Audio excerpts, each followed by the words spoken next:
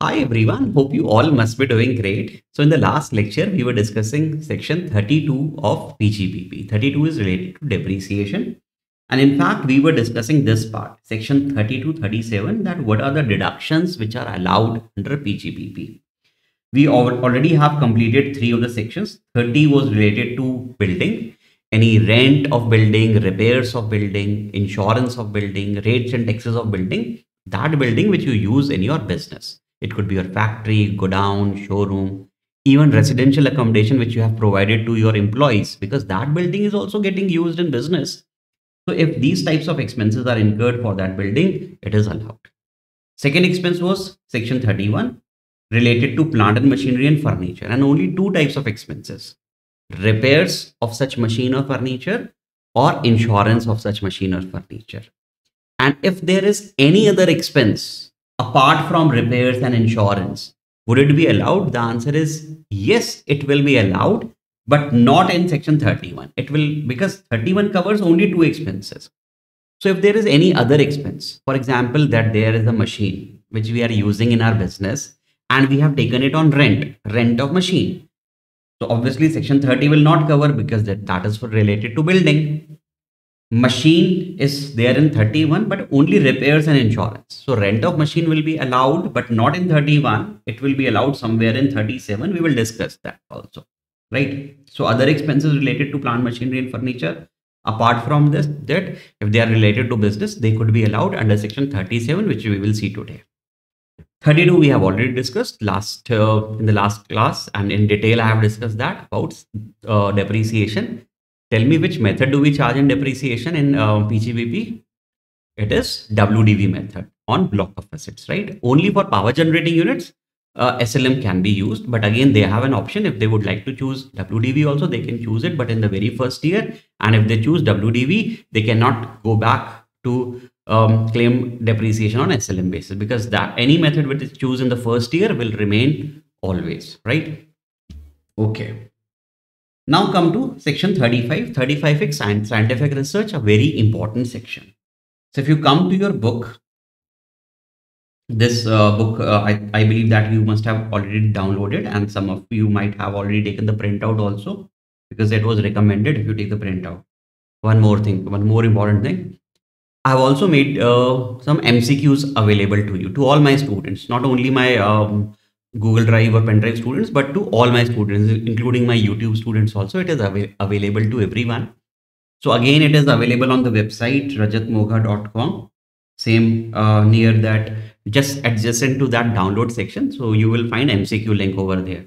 So you can find MCQs also. As of now, I have uh, uh, made two or three chapters available, but uh, let's say in next, uh, I believe in a week's time or 10 days, I'll make all the chapters available to you.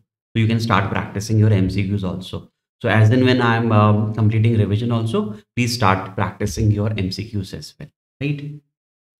Okay. And also please let me know how you are finding that MCQs helpful. And please also let me know, let me know that how you are finding this revision lectures. Is it helpful to you is or they are not helpful to you? Whatever your feedback is, please post that in the comment because it really, um, because that is how we will able to communicate. If you'll not uh, suggest me that what is extra which which you want if you need something extra if you need any other help please let me know. And also please let me know are you finding these uh, video lectures helpful good bad what, whatever your feedback is please mention that in the comment section. Please do mention that in the comment section.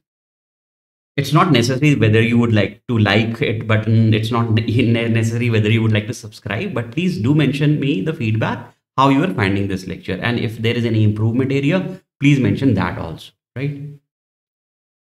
Okay. So uh, this is section 35 35 is related to scientific research a very easy section and uh, it's very important also from both examination point of view. In fact the entire chapter is important.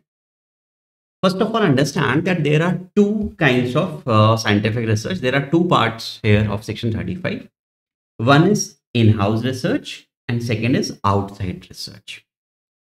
In-house research means that you are uh, getting this research conducted in your own business for your own business. So it should be related to your business. It should be related to your business, right?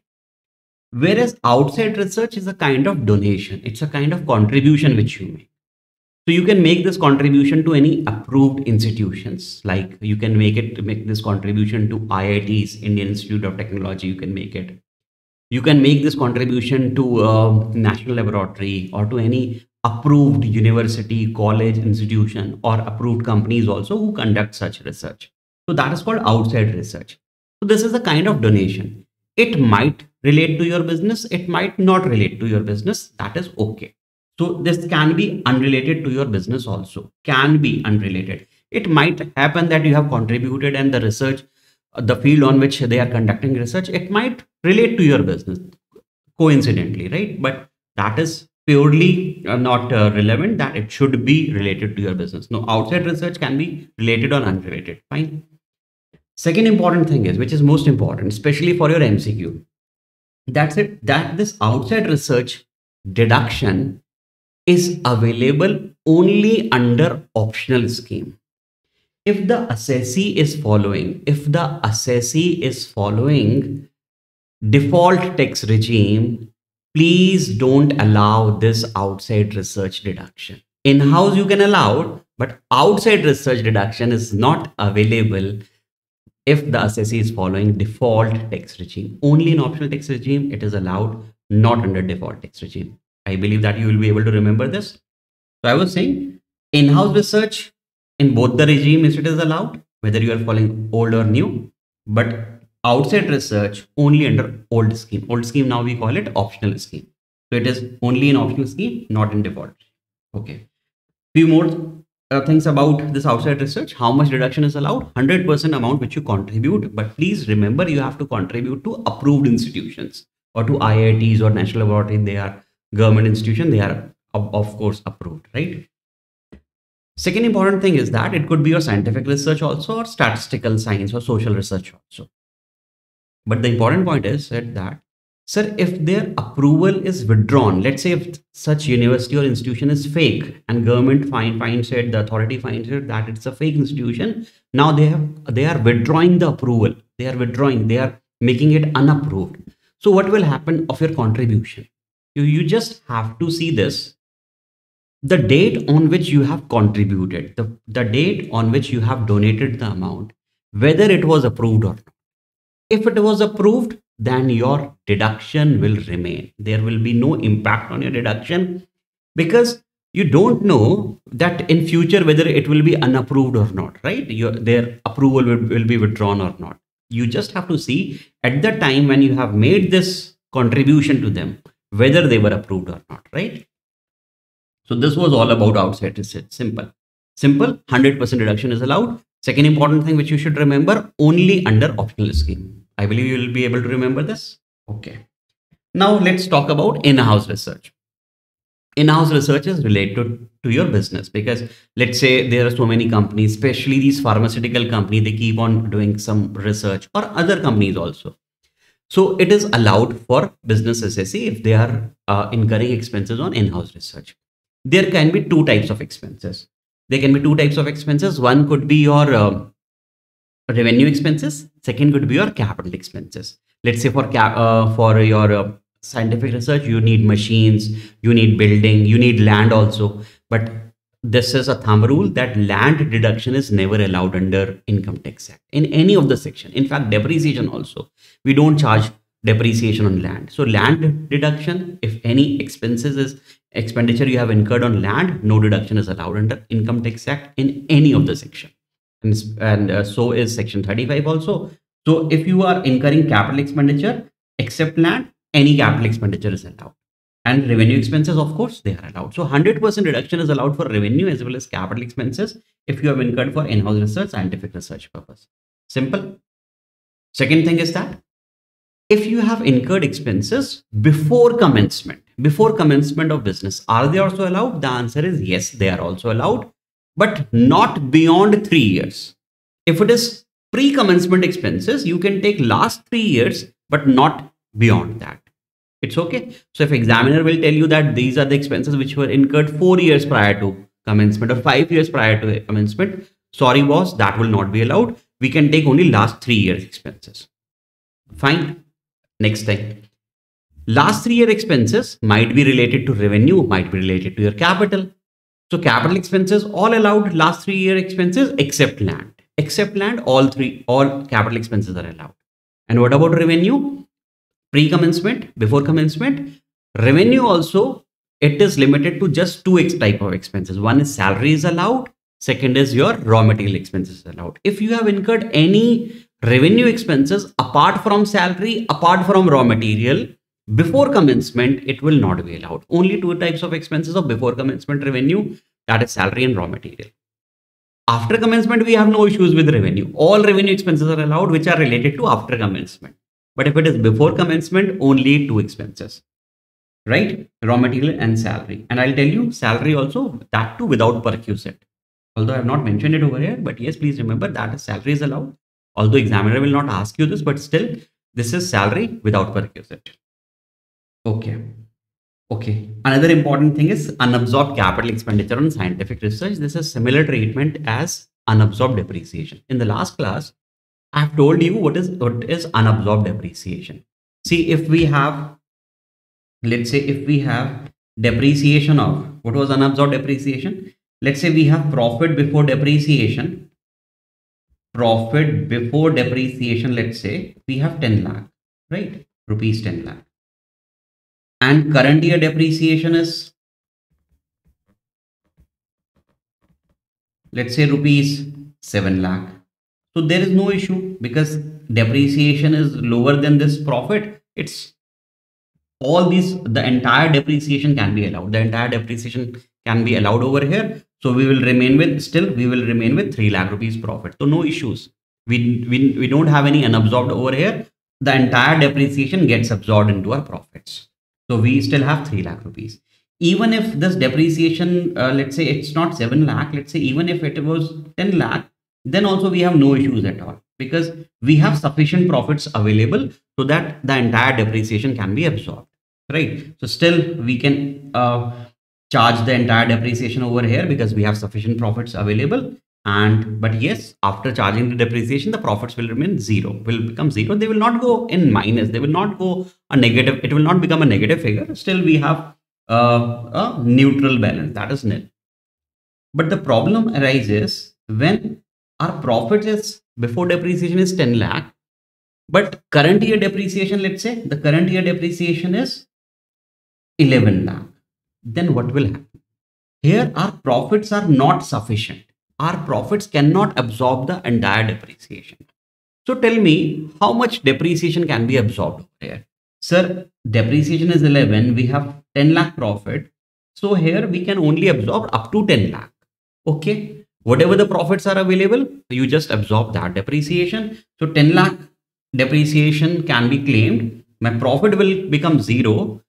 And 1 lakh depreciation can i say that that there is a 1 lakh rupees loss business loss? No. For from depreciation we will not be will not get business losses right? From other expenses we can get business losses. It can result in negative figure. It can result in negative figure. But depreciation is a very humble guy. It's a very humble sweet guy depreciation will tell us that uh, sir whatever the profits are available if profits are available i'll come if profits are not available then I'll not come. No issues. I'll I'll come next year or next year, next year. And he's a very humble guy and he never dies. That is the reason we can carry forward this unabsorbed depreciation also for unlimited years. Do you remember that? So in the same way, here what will happen? Sir, one 10 lakh depreciation can be charged, 1 lakh depreciation will remain unabsorbed. That is what we call unabsorbed depreciation. Same concept is related to unabsorbed. Same concept will relate to unabsorbed. Capital expenses or capital expenditure on scientific research. Capital expenditure on scientific. I'm not saying about revenue expenses. I'm saying capital expenditure on scientific research. We have same treatment. Let's say profit before capital expenditure on scientific research is let's say 5 lakh and we have capital expenditure on scientific research, let's say capital expenditure on scientific research, we have of rupees 6 lakh. So in this case, up to 5 lakh would be absorbed, 1 lakh will remain unabsorbed. Same treatment like unabsorbed depreciation. Same treatment we will give to unabsorbed capital expenditure on scientific research also. So if profits are there, they can be absorbed. If profits are not there, they will remain unabsorbed. And we call them unabsorbed capital expenditure on scientific research. I believe you have you now remember that. You are able to recall that. Okay. So unabsorbed capital expenditure on scientific research shall be taken, uh, will be carried forward and will be treated in the same manner as unabsorbed depreciation. Okay. So another important point is that if you have purchased any asset for scientific research purpose, in case you have purchased any asset for scientific research purpose, and you have taken 100% reduction on that, right? So please tell me how much is the written down value? So zero. Why? Because if you have purchased any capital expenditure, if you have purchased, sorry, if you have purchased any asset for scientific research purpose, let's say you have purchased a machine for scientific research purpose, it was of rupees 8 lakh so you have claimed entire deduction, 100% deduction is allowed, 8 lakh you have claimed. Now, now the written down value of the machine is zero, nil. So after some time, you don't need that machine in scientific research purpose. You don't need that machine for scientific research purpose. So what will you do of that machine? Either you will sell it directly or you can use that machine in your normal business. So let's say if you use that machine in your normal business, if you use that asset in your normal business. That that we call it transfer of a scientific research asset to a normal business. So what will happen? Nothing will happen. It will form part of the block. It will form part of a normal assets block. So if it's a machine, which let's say uh, the eligibility of that machine that it is such that that the, the depreciation if would have been charged is 15%. So it will go in that block of plant machinery where 15% depreciation is charged let's say if it was a computer if, if it was originally a scientific research for scientific research purpose we have used a computer.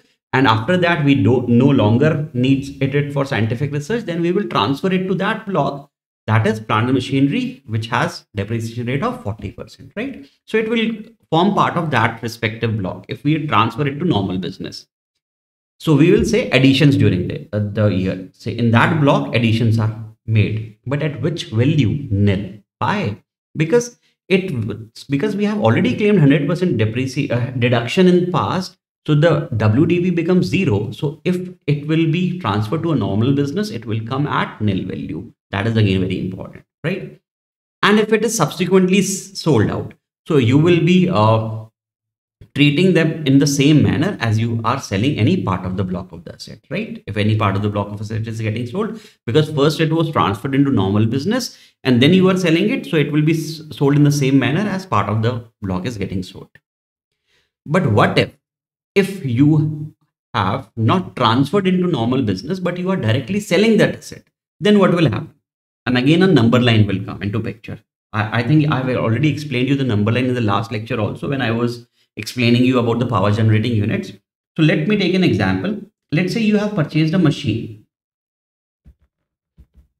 of rupees 8 lakh for scientific research purpose. For scientific research purpose, you have take, uh, purchased a machine and because in the year when you have purchased this machine, you have claimed 100% reduction on it under section 35. You have claimed 100% reduction on it under section 35. So how much reduction was claimed? 8 lakh. So tell me after claiming the deduction, the value of this machine becomes zero, nil, right? So let's say after four, five, six years, now you are selling this machine. Now you no longer need this machine in scientific research purpose. Now you are selling this machine. Let's say you are selling this machine for rupees 2 lakh. So what will happen? So how this, the tax it will be treated in our income tax and our PGBP, how it will be treated, you will follow the same number line, which I have already explained you in uh, the power generating concept as well tell me what was the original cost. So the original cost was how much? 8 lakh. Original cost was 8 lakh. And what is the written down value? So written down value is zero because we have already claimed entire 100% reduction on this. So where should I write? Because you understand if I'll go this way, the numbers keeps on increasing. And if I'll go this way, the number will keep on decreasing. So what is where should I keep uh, put this written down value point? So written down value point will be somewhere over here, right? It is zero, zero. WDV is nil. I will write nil. Okay. Now you are selling it for rupees 2 lakh. Now it is not rupees 2, it is 2 lakh, right? So now you are selling it for rupees 2 lakh. Tell me, is it a profit or a loss? Sir, it's a profit because the WDV is zero and now you are selling it for 2 lakh. So if you are selling it for 2 lakh, 3 lakh, 4 lakh, 5 lakh, up to 8 lakh, this is your PGBP income. This is your PGBP income. This is taxable as section 41 deemed business income. This is deemed business income. So if it is getting sold for more than, obviously it will be more than zero. Up to 8 lakh, it is PGBP income. And beyond 8 lakh, I believe that you now can say that this is your capital gain. So let's say if you have sold it for 10 lakh, let's say if you have sold it for 10 lakh, so you have the value was nil, so there is a 10 lakh profit. So how you will say, sir, 8 lakh up to this original cost, that is 8 lakh is PGBP under section 41 and remaining 2 lakh is capital gain.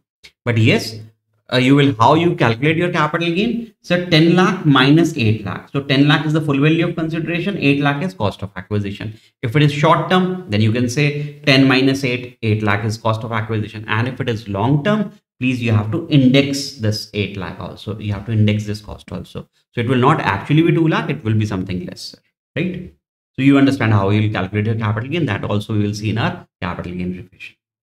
So this income will be taxable under 41. I'll show you the section 41 also. If you will uh, come to page number, it comes, let's come to this page. Mm, it is, see, deemed business income. This is page number, yes, this is 5.19. This is 5.19. Section 41. Sale of scientific research asset. SLM method of depreciation, right? And sale of power generating also also written over here. That is balancing charge, right? Up to the original cost is your PGBP income. And this is a, there are some other things also, but we will discuss them later. But yes, it is covered in section 41. So this income, which I was telling you, this income was your PGBP taxable under section 41. Come back to section 35. So this was section 35, that is in-house research, outside research, and how you will treat it. If you're transferring this uh, asset to your normal business, it will be um, forming part of that block to which it relates, but at nil value, right? And if you are selling it later on after using a normal business, if you are selling it, it will be sold in the same manner as part of the block is getting sold. Second point is, second case is, if you have not transferred in normal business, but now you are selling it directly, then how you will sell it? individual asset is getting sold, please draw a number line and you will be able to get, you will be able to determine how much is your PGBP income and how much is your capital gain. Okay, this was section 35 and I've already made our number line here as well. So sale of scientific research asset after using a normal business, same treatment as part of the block is getting sold. Without using a normal business, you can draw this for number line. So this was your original cost. This is your WDV nil. This area is the PGBP income under section 41 and over and above original cost would be your capital gain. How do you compute your capital gain? That's that we will see in section 50A. That is the capital gain chapter. Okay. So this was section 35. Okay. Another important thing, next section is 35AD. 35AD is related to, this is investment linked deduction and we also call it as a specified business deduction. 14 types of businesses are allowed to claim this deduction. But, but, but, important thing is that if the assessee is following, if the assessee is following default tax regime 115 BAC, I'll also, I can also call it new tax regime, then 35 AD deduction is not available. This 35 AD is only and only available under optional scheme. Only under optional scheme. Please remember this. My dear students please remember this. It's very important. Specifically uh, it can come in your mcq it can come in your mcq examiner will confuse you he'll, he'll give you mcq in such a manner that you might get confused but please my dear child please don't get confused over there don't get confused over there so only under optional scheme it is allowed. If the assessee is following default tax regime, please don't allow 35AD. Okay. So optional tax scheme. So what is the provision over there? It is related to capital expenditure. So if these 14 types of business, so there is a list of 14 types of business and it's very easy. I'll make you read also at once. So these 14 types of business, you don't have to remember the list entirely, but yes, you should go through this list twice or thrice so that you will be able to recall, yes, this business is also related to specified business. Okay. So if the assessee is following optional tax regime and they would like to claim 35AD, they can claim it. If they are running these 14 types of businesses, these 14 types of business, we call it a specified business. So whatever the capital expenditure they have made, this section 35 AD is only related to capital expenditure. This is not related to revenue expenses. First thing first, right? Optional scheme, 35 AD optional scheme and only related to capital expenditure. So whatever the capital expenditure which you have incurring, which you are incurring in these 14 businesses, you can claim 100% reduction. You can claim 100% reduction in the very first year, right? But yes, three capital expenditure is not allowed. One is on land, obviously. Second is goodwill. Third is financial instruments.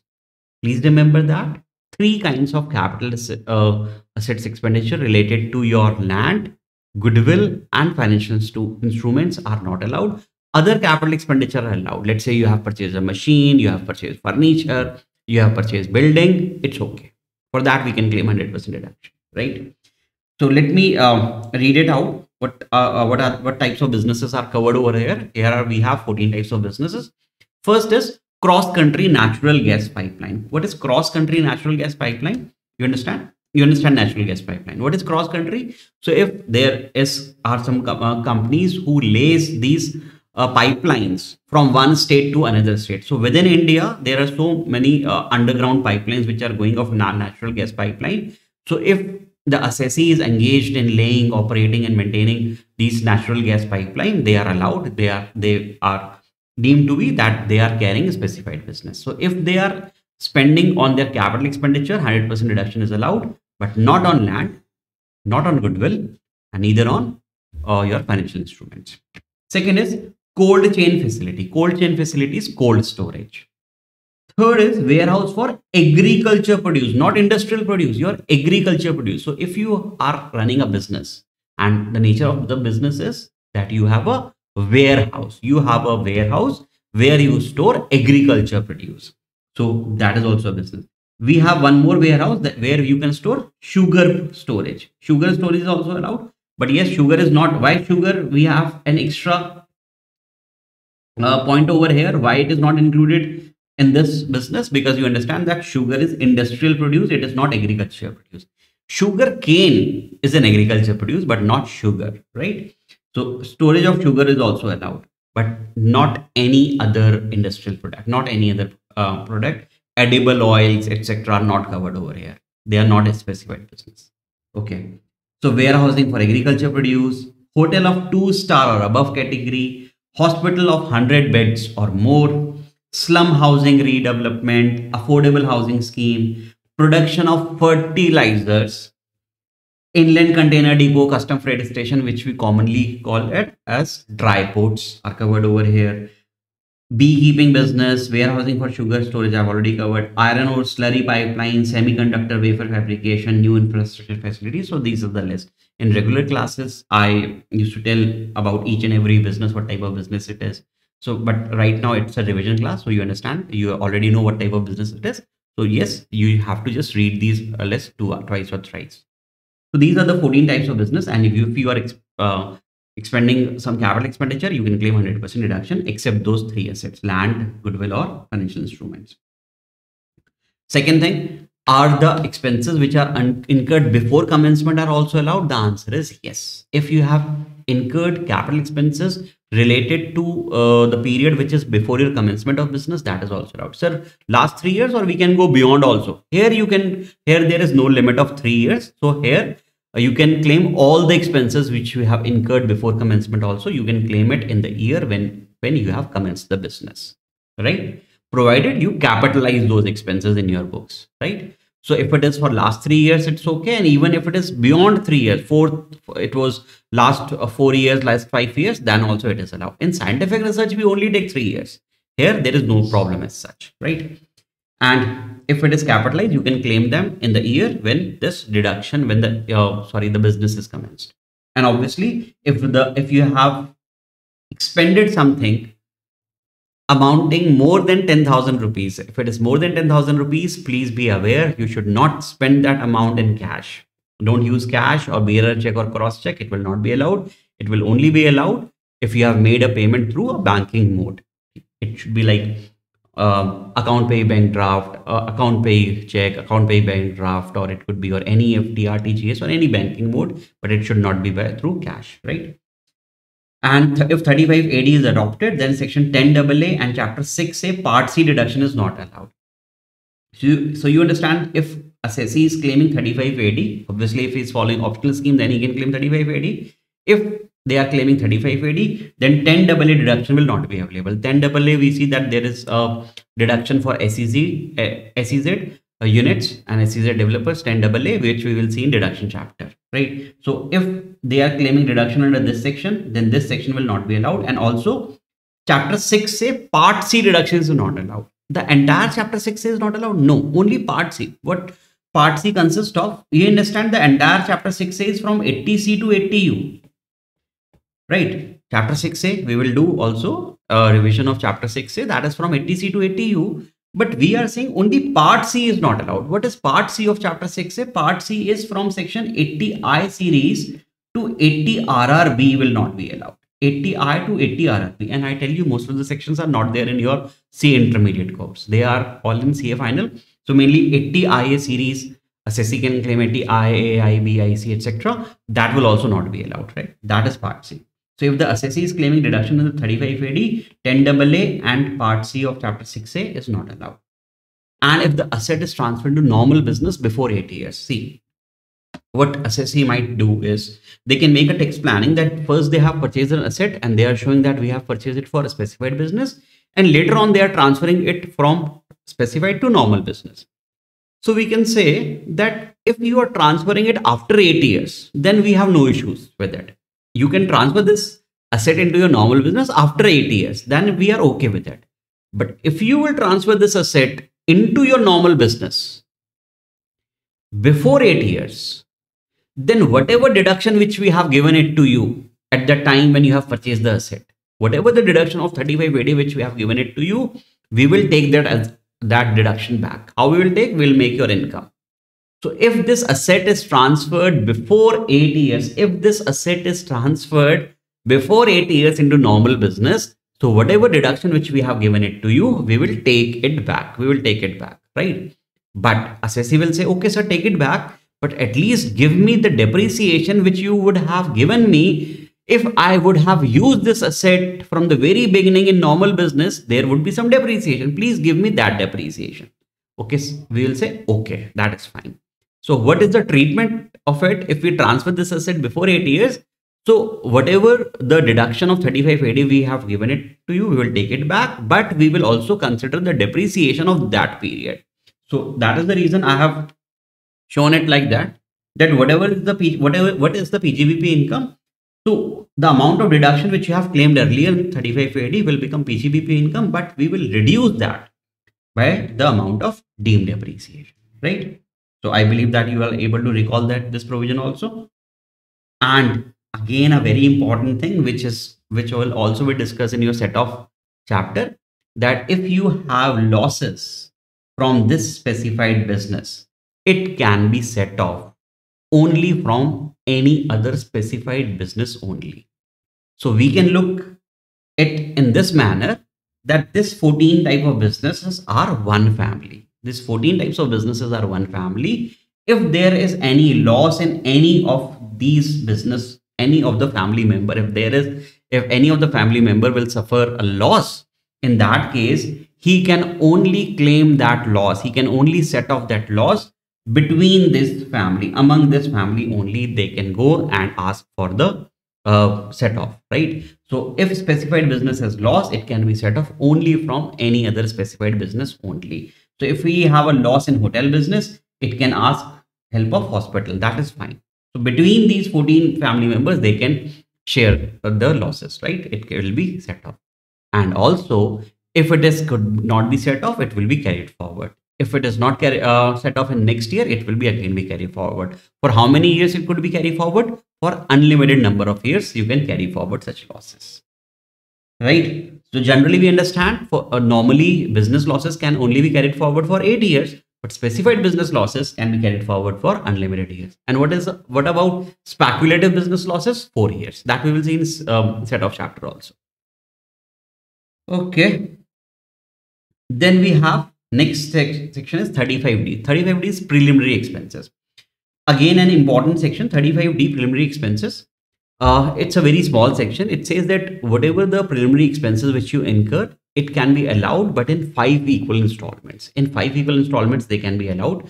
So whatever is the eligible amount which can which you can claim, only one one fifth will be allowed in this year. Remaining four fifth will be allowed in next four years. That is total five years.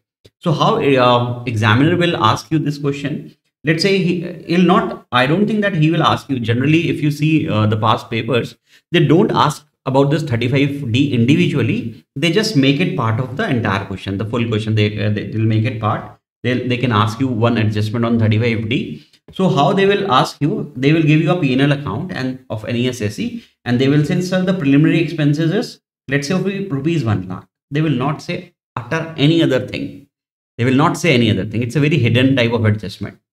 So you will say, sir, preliminary expenses allowed under section 35D. So we are allowing these expenses. But please remember, it will only be allowed in five equal installments. So please, what you have to do is you can only allow one fifth this year. One fifth you can allow this year. So 20,000 please allow this year. Remaining 80,000 will be allowed in subsequent years, one fifth, one fifth, one fifth, right? So here, what you have to do is just allow out of this 1 lakh let's say the amount is 1 lakh only allow one fifth only allow 20000 remaining 80000 please add it back please add it back right second thing which examiner can ask you uh, that they can also give you the cost of the project also. So please remember these expenses are allowed. Whatever is the actual expenses you have to compare it with 5% of the cost of the project whichever is lower. Whichever is lower only that amount is eligible but that too divided by 5 divided by 5 so eligible assessee for 35d is only resident assessee or indian companies. Non-resident for non-resident 35d is not available amount of deduction is one fifth of the eligible amount i've already discussed and the eligible amount is actual expenses which you have incurred or 5% of the cost of the project whichever is lower right but yes, if it is a company assessee, if the assessee is a company, which generally in CA intermediate, they will not ask you about company assessee, but still it's there in your syllabus. That is the reason I'm uh, just mentioning that, that also.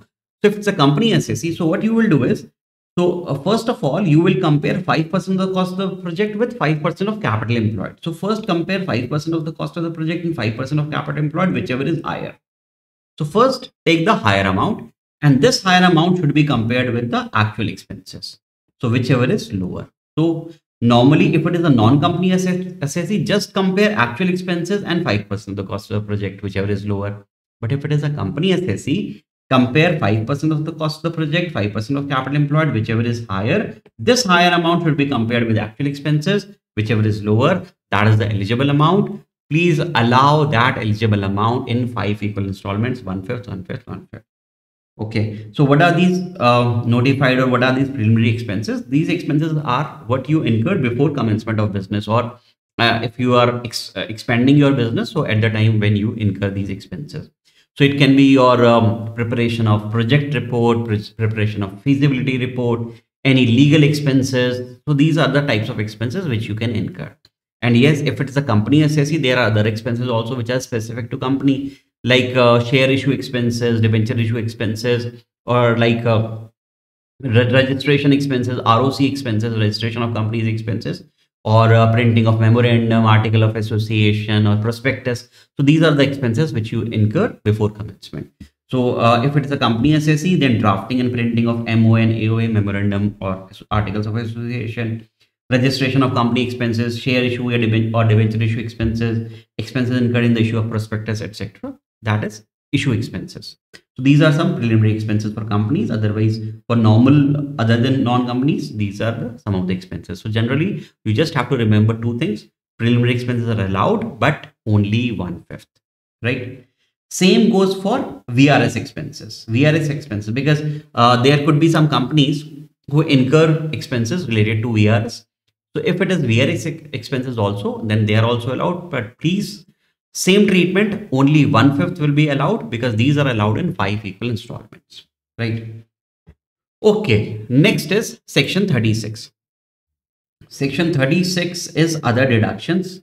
Again, I'm thinking to stop right here and we will discuss section 36 and 37 in our next part, right? Let's keep this part till here.